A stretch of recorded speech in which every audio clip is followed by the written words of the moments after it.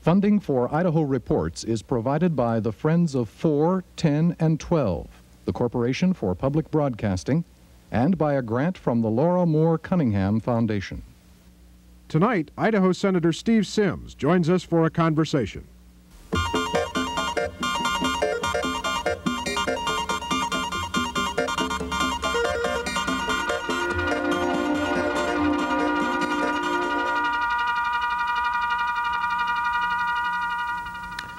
Good evening. Republican Party platform work writers were hard at work in Dallas today, and they made a preliminary decision today that could prove controversial for President Reagan and other Republicans.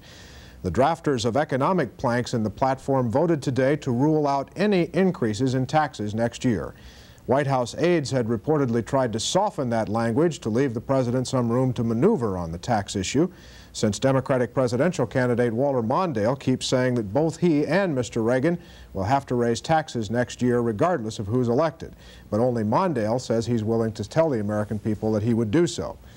The political debate over taxes and the economy is one subject we'll be discussing tonight with Idaho Republican U.S. Senator Steve Symms. He's a member of both the Senate Budget and Finance Committees. Good to have you here, sir. Good evening, Mark. Good to be here. Thank you for coming. Let me ask you about that tax uh, question. Should, uh, should the president have some flexibility in the Republican platform to maneuver, or should we just say no taxes? Well, I think we should say no taxes, but I think uh, he'll have all the flexibility he needs anyway. And I don't say that to make light of the platform, but I think it's fine to have the platform as clear as possible that uh, the Republican Party stands for balancing the budget by way of reducing expenditures rather than raising taxes. And uh, that's about as clear as you can make it. And if there is some, uh, if the Congress forces something on the President later on, that's another question. But I, I, don't think that there's any reason why the people at the White House are making such fuss over this, frankly. Uh, well, the rank and file why Republic, are they making such a fuss? Well, the, the, the, the, reason they're making the fuss over it is it's uh, common sense tells you, as the President has said, that it's very difficult for a president to never say never, as he says. Uh, he doesn't know what's going to happen, or none of us know what is going to happen in 1985 uh, in terms of uh, what the demands will be. But as I see the budget now and the numbers that I've looked at and at the, the uh, revenue flow that's coming to the Federal Treasury, there simply is no reason for us to talk about a tax increase in 1985 because the revenues are pouring into the Federal Treasury, and we need to be talking about how we can reduce the expenditures. There's going to be, I think, some $400 billion in increased revenues over the next three or four years to the Federal Treasury. The secret to it is, is don't spend all of it, and the budget will come out balanced by 1988.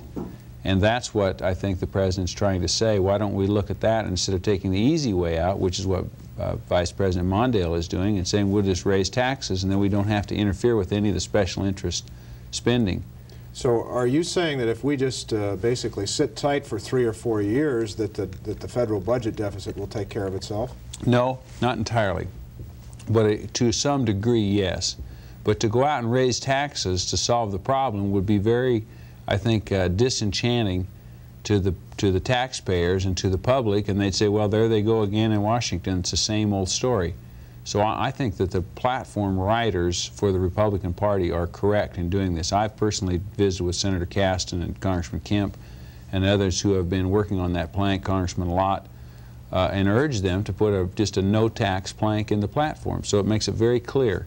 So people out in the country, when they're voting this fall, they can make a decision. If they want to vote uh, for a guaranteed tax increase, then vote for Walter Mondale. If they want to vote for no tax increase, they hope, vote for Ronald Reagan. And that's about the best guarantee they can get, whatever's in the platform. Well, Mondale's argument, though, uh, is, it seems to me, is that he says, I'm willing to tell you what I'm going to do, and the president's not willing well, to tell you what he's going to do. Well, the president can tell him that he's not going to raise taxes. That's what he needs to tell him period. Now, if Congress raises taxes, that's not the President raising taxes. And maybe later on he may be forced into something, but I, I personally think that the right way to start is in a position that you don't want to raise taxes. Now, Mr. Grace, for example, has come up with uh, 2,475 or 74 recommendations of how to save some $424 billion. 2,478. I just Right. I thought you might mention Right. that, so I brought- brought that 2478.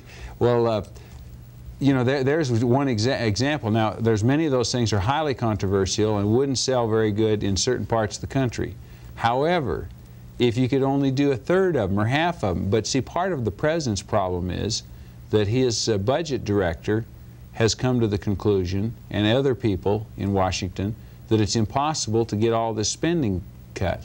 So once they decide that they really have cut all they can cut, that the only way they can solve it then is raise taxes, then it's fait accompli, or it's a, it's a it, it becomes a self-fulfilling prophecy, is what I'm saying. Yeah, and what it's I not would just do is- Democrats who are suggesting that. No, there's a few Republicans. Stockman and, and, Senator Mike- Dole, for example. Senator Dole thinks that we better not get ourselves completely cornered. Now, Senator Dole does encourage cutting spending, but he also is saying we've got to uh, face reality that we're going to have to raise some taxes. Well, well, my point is, if your budget director is saying that, as Mr. Stockman is saying, then you should get a new budget director. Doesn't this... Get one uh, that believes he can cut spending. Get somebody who thinks like Peter Grace and put him in the budget office. Then at least they start out from a positive point of view. It's it's self-defeating. If you don't believe you can do it, you can't. You have no chance. Doesn't this point up uh, a certain amount of, uh, well, disarray, if you will, in the top levels of the of the Reagan administration I don't over think- this basic issue? Well, it appears probably to be more disarray than I think there really is. Now, we had, before the Joint Economic Committee last week, we had uh, Secretary Regan testify. Right. And I was there for the entire hearing and asked him a series of questions about this specific issue. Now, the Secretary of Treasury couldn't have been more clear about the position. And he was flat, unequivocal, say there'll be no tax increases, there's no plans for any tax increases, we're not doing anything about tax increases. And then when it came out in the news, it still was saying, but there's a chance that maybe after 1985 there may have to be some kind of a tax increase from some offhand thing he'd said. I don't, I did not catch that he'd said it, but yet, so I don't think there's as much disarray. It's true probably that Mike uh, Deaver and Jim Baker at the White House would like to leave the flexibility a little more Who open. The wires, the wire services Right. were reporting today were the ones who were bringing who are- the pressure who- to bear on the platform on this. writers. But as far as the president himself is concerned, I've talked with him personally about this. He does not want any tax increases. And so if he even says anything like, I don't want any tax increases, period, unequivocally, but somebody says, then they come back and say, but Mr. President, what happens if the Congress forces you into a tax increase? Well, he says, you know, it's bad for a president to never say never, you know, Yeah. to, to ever be putting myself completely in a corner. So then it appears to be more disarray. But I think the bottom line is this. Mondale will guarantee you a tax increase. Reagan is going to try to do it by reducing government spending and hopefully be successful and not ever have to have a revenue increase over and above our present tax code. Now that does not mean that more revenues won't flow into the Treasury. There's going to be more money coming in just because of the growth in the economy. Every revenues are going up every year. Let me ask you, you, you mentioned the Grace Commission's uh, report uh, on 200 2,478 ways to reduce the, the cost of government, to make things work more efficiently. Uh, George Will wrote a column this past week on one recommendation of the Grace Commission, which would be which would alter the way that uh, we charge for electricity that's produced at Hoover Dam. And he writes in his column, and I don't know how He's a you little late on how that. you voted on this, that uh, the Republican-controlled Senate voted 64 to 34, with every senator from west of the Missouri voting to continue the subsidy. You in that group, I take it. Yes. So you went against the Grace Commission On on, that particular one. issue. Mhm. Why? Well, the first place is that that's a little bit, you know, George Will, who I have a high opinion of and respect very much, and I agree with many of the things he writes. I disagree with his particular viewpoint of the entire Grace Commission and specifically of that issue. The Hoover Dam is, you know, it's a little bit different than, say, the Arrowrock Dam, but the Arrowrock Dam is, is paid for. You know, the farmers have paid back the federal treasury and paid for it, so there isn't a big subsidy out there. The Hoover Dam is the same way. What they were trying to do with the Hoover Dam is put some improvements on the power generating facilities, new generators and so forth, and be able to sell bonds in order to do it. If they could only have a contract for one or two or three years, they couldn't sell bonds in the financial markets to pay for it. So there's another side to that story. And it's true that the Western senators uh, all voted against the proposition. And in the East, they pay more for power than we do in the West, in the Pacific Northwest. Well, the Grace in Commission, the Grace Commission's argument, though, in making the recommendation was to do away or at least reduce a federal subsidy that a relatively few number of Americans enjoy in Arizona and Colorado and, Arizona, Nevada, and California and get it all. California. Uh, why not do that? Well, I suppose you could do it. However, you see, is it a, is it a subsidy that uh, that we're paying uh, with the Hoover Dam? Uh, the, a lot of the power in the Hoover Dam was used during World War II to make the fire bombs and magnesium bombs and so forth in the war effort. Then it's been sold into commercial contracts, and uh, people have have set the pattern of what the electric, electrical rates are based on the power supplies of Hoover Dam, something that was built some, what, 30, 50, when was it completed? 1935 or something, 36? But by but by increasing those rates, you're you're talking about a But political problem, aren't you're, you? you- That- well, you're that- talking, that's oh, these, sure. That's why these Sure, uh, except that, except that when they pick out, anywhere. I mean, when they pick out, the, the, uh, when the Grace Commission picks out that particular item out of the 2,478 recommendations, uh, that Hoover Dam is already built. And there is already a rate structure built into it from the capital costs that have been put in there. So whatever subsidy there was has already been accomplished. You know, now if you could get enough people, I guess, to vote to take it away from, uh, I would prefer rather than charging them a higher rate for it, if that's the case, it would be better, in my opinion, to start looking at ways to privatize the public power uh, facilities so that they could, in fact, go private and uh, remove the government from it altogether. But that's probably a little late to talk about that, too. Uh, you know, we've got this terrible mess in the Northwest with the whoop situation. And uh, if you think back, it would have been very nice if the, if the state of Washington, for example, where they had the Washington Public Power System that got in all the whoops problems, it's too bad that it wasn't the private shareholder, uh, private utilities that were doing that instead of the public utilities, and they wouldn't be in the big mess that they're in up there now, that some of us may end up paying for it over the years. And, and it maybe that's what should have happened with Hoover Dam, is after Well- 30 years they should have sold the dam or something. It seems But, to me uh, that, that every time you talk about things like that, you almost get stoned by the by all the people who are against private ownership. So uh, that doesn't go over too well either. But It seems to me, though, let me just go back to, the, to Will's point here, which uh, seems to me to be important in, in, the discussion budget. of the, of the Grace Commission's recommendations, that when one of these recommendations uh, hits close to home as a, a recommendation to drop the subsidies on Hoover Dam power does, that suddenly um, fellows like you who are all for cutting the budget go run and hide and vote against it. well, except that. And, that, and that's the see, the I think point is- his the- point the is that is, that's though, the Mark, political that problem really in making isn't- these kinds of cuts in I don't know how they figured that that's part of the budget. There's no liability to the federal budget on Hoover Dam. There's no liability to the federal budget. It's not. It's not a losing. Well, the federal losing. government could be making more money off of selling that power, though. Well, if the federal government thinks it's, if we think it's proper for the federal government to try to make a profit off of electric, electricity that it generates in the Hoover Dam so that it can pass out more subsidy checks somewhere else to buy more votes, I mean, that's, that's, you know, that's a thing, that, that's a question that's hard to answer. Okay, Because it's so- just politics in that case. Okay, so It's this- a, it's a federally owned dam, and it is not, it, it was put in there to help just develop the Colorado Basin for one thing, but also to help develop electricity so that you could have a commercial area develop, not put in there to generate power to sell at the highest price possible. Now, I'm not, I don't know how much they could sell that power for. Maybe they could sell it for more than they're, they're paying, they're selling it for now. But if this recommendation, uh, just one recommendation out of the, the 2,400 that the Grace Commission recommends, mm-hmm. can't even it can't even. Well, get 35 let me- votes let me ask Senate, you this. How serious No. can the Congress be about Well, really cutting the budget? We can be serious because, see, you're comparing apples with oranges. Let's, let's compare this with the Idaho Power Company's rates off of the Brownlee Dam, for example.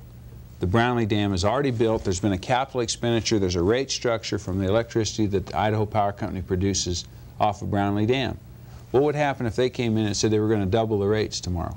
How would they go about doing it? They got to go to the Public Utility Commission, right? And they got to get approval to raise the rates. On what basis? What's their added cost? They have to demonstrate that they've had a, a whole new cost structure that's increased. That is not demonstrable in the case of the Hoover Dam. The Hoover Dam has already been built, it's been paid for, it's a structure that's there, they're, man, they're, they're working it. What the Congress want, what they wanted to do was to have a contract, a new contract for another 30 years so they could sell some bonds to put some new generators in. But their rate structure, just to say that if they're going to raise the rates, double the rates or triple the rates, that that would help the federal budget, that's a completely different question. There's Yeah, no I- I- drain I on the federal budget from Hoover Dam. Do, but doesn't this doesn't this illustrate though the, the merits of Hoover Dam aside for a moment? Well, the no. difficulty, what the it political illustrates is what difficulty it in- illustrates in trying is to make some well, of these changes. That's true, and it illustrates the political difficulty and the market difficulty of government ownership versus private ownership. And I don't have an answer for that as long as we have all this government ownership. We're surrounded by it here in Idaho. We've got government grasshoppers eating up our fields and but so Senator, forth. you voted you voted to keep the government ownership just the way it is in the case Well, the choice wasn't, if, if the choice would have been to auction it off or to sell it for so many billion dollars, I might have taken another look. That really wasn't the Yeah. choice I had. Uh, The you're- choice you're was right. either allow them to continue to operate and sell power or to completely disrupt uh, their ability to run the, the project the way they've been running it. So the choice isn't quite as black and white as, uh, as, it, as Howard Metzenbaum and others would like to make people believe. let me let me ask you this. But it's, then. you're right In- on target, though. It's a difficult problem. There's a lot of things in the Grace Commission that a lot of congressmen and senators are going to really scream about.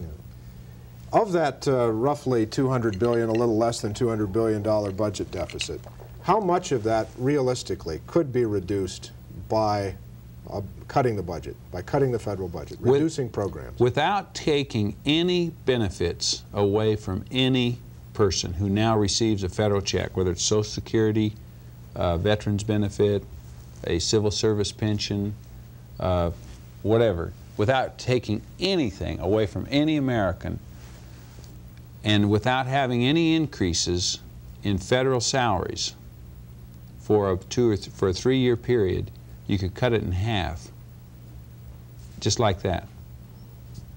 And and that would shield everybody that's below the poverty level. You could take half of the deficit; it would save 235 billion in three years. Just that one single thing alone. Yet, yet the president says he wants to uh, go ahead and grant a cost of living increase to Social It's already Security been done. recipients. hmm How do you feel about that? I think it's a mistake. I think we should appraise, we should, we should uh, uh, uh, carefully appraise how we got in the situation we're in. You see, the wage index has not kept up with the price index. Now, of course, the president has done a lot of things that have helped, and uh, there have been a lot of things happen, like the deregulation of oil and so forth. Well, the, the reduction we've had in the deficit, in the uh, growth of spending and so forth. So inflation is not the problem it was. So consequently, the cost of living adjustments are not the problem they were three years Well, ago. Well, it's not a very efficient way to cut the budget to start granting cost of living increases that the law said you didn't even need to That's to true. grant. Now they're telling us Well, now why did Ronald Reagan do that? politics, absolute, pure and simple politics. He wanted to be sure that Tip O'Neill didn't have an issue to hammer him with this fall that he was somehow against the senior citizens. Is that an agreeable trade-off to you? I I- no, I think he should. I think it's a mistake. But interestingly enough, after the fact, and after the fact, after it had already been done, and had been gone through the Congress and gone to the White House, some of the accountants came up with an analysis that it actually, because of the way the formula works, that this will actually end up saving money. Now, I haven't really carefully studied those figures, but I've been told this. Senator Dole has put the explanation of this in the congressional record, and I haven't read it yet, I must confess. But what I'm told is that because of those people who become eligible in FY in fiscal year 85 and fiscal year 86, who would then be eligible to go back and pick up the COLA when it went above 3%, they'd have to go back and pay Right. more, that it will be cheaper to have done it this way than it would have to have uh, That sounds like that. Washington, D.C. Well, logic. that- that's what it sounded about. like. That's exactly what I said when I was told this. But I was told this by several people that said that they had analyzed it and that was correct. But it seemed to me like this was a good time to uh, not keep on that bandwagon and to uh, start looking at ways to try to put the wage index and the price index back in balance. And that's all I'm talking about is get it back in balance. You don't have to reduce anybody's benefits if we could have stopped increasing them. Now, of course, we're not having the inflation we were having. thank heavens. So we don't have people on a fixed income in a real squeeze with finding out that every day the prices of things they buy are going up. That's not the case right now. Let me talk to you just a little bit about wilderness uh, in the time that remains. You were quite critical last week of Governor Evans and his call for regional negotiations among the various mm -hmm. parties who have an interest in the wilderness issue uh, as a way to reach a compromise. Why is that a bad idea? Well, the reason it's a bad idea is that on one side of the argument, uh, the governor and all his uh, supporters are always critical of me that they that uh, they're afraid I want to privatize any land or that, I, they, I said the state of Idaho ought to own more of this land and you know you know that old story that's gone on for years in this state that I think the government already has too much land in Idaho and owns too much of it, has too much to say about it. But that's their argument. Well, we've had this problem going on for 10 years, since 12 years since I've been in the Congress. I tried to get it settled in 79 when Senator Church had the River No Return Wilderness Bill to get it settled completely. Senator McClure has held hearings all over the state of Idaho properly with the committee. The House has had hearings. The governor has testified. We've got thousands and thousands of pages of testimony, and everybody's had their input. Senator McClure had the thing on track, almost prepared to where we were going to pass it through the Congress with the Arizona bill, and, uh, and, and, had agreement on both sides of the, of the Capitol Hill of, of what we could do. All we had to do was argue over between 1.2 million acres and 525,000 acres and get the lines drawn, and this thing would have been completed. Then the governor interferes in it and invites Congressman Seiberling and others to come out here, stirs the whole thing up. Then he comes up at the last Johnny come lately thing and says, now we haven't had enough meetings. Now we're going to go around the state and have five more meetings to solve this. And all I'm saying is he's a little after the fact.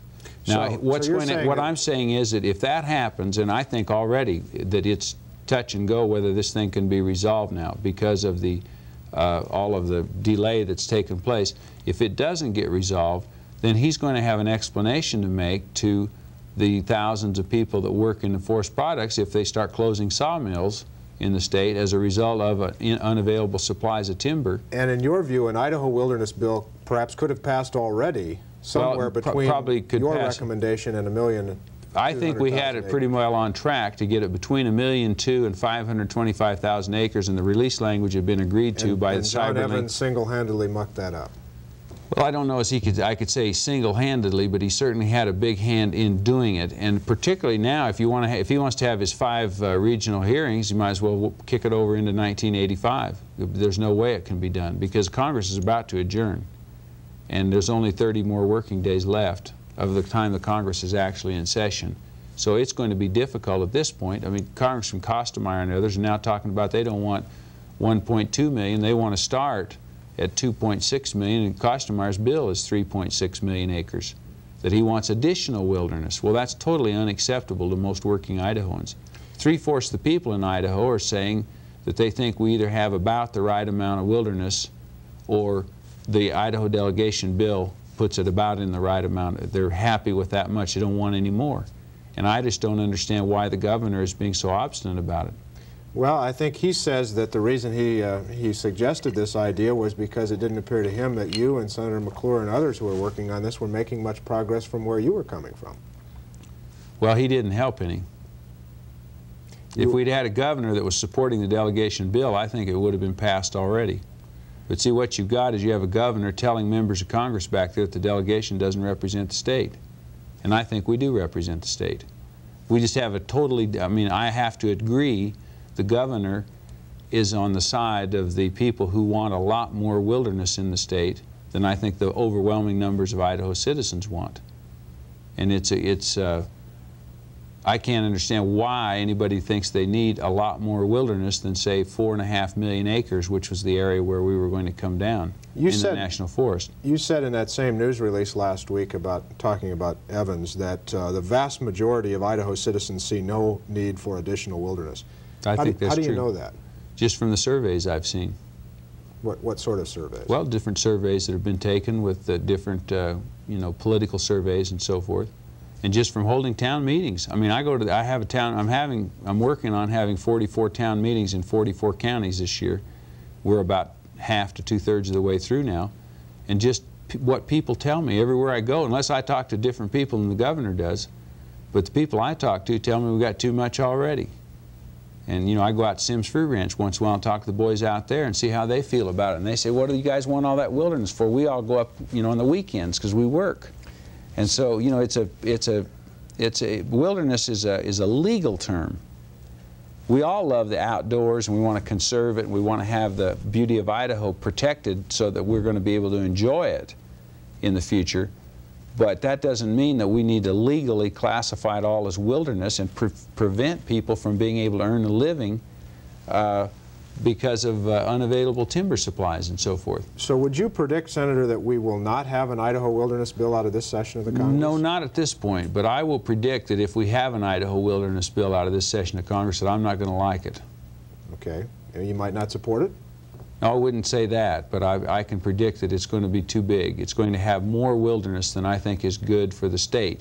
But, but my view is that we've got uh, thousands of families in the state that are counting on releasing some of those lands to multiple use. And if you notice, the name of the McClure bill is the uh, Forest Management Act because right. it symbolizes that we're going to release lands to multiple use the wilderness focus seems to get all the attention, but the important focus that I've always looked at is we need to release about 8 million acres to, to multiple use.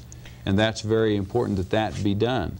So I would hope that we could uh, get something done so that we'll have it settled and behind us. It should have been done several years ago, and, and it was much to my chagrin we didn't get it done in 1979. You, uh, let me just ask you about one more thing in this press release uh, last week. You said you were ready for wilderness to be the focus of the 86 campaign in Idaho. That almost sounds like an announcement.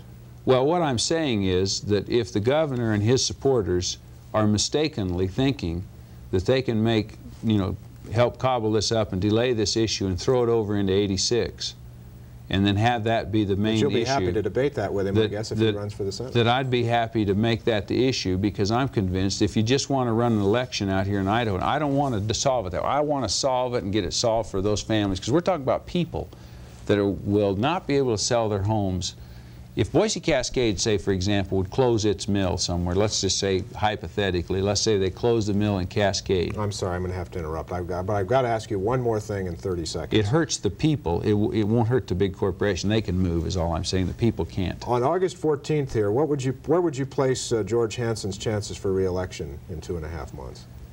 Oh boy, I don't know. It's it's a tough uh, toss up. It's a toss up, I'd say. I mean, he's there's a lot can happen in the next two months he, he doesn't look as good right now as it will be by November. He'll look a lot stronger in November than he looks now. It's always good to have you here, Senator. Thank we you. Appreciate it very much. Thank, Thank you. you. That's our time for tonight. We'll be back tomorrow. I'm Mark Johnson. Good night.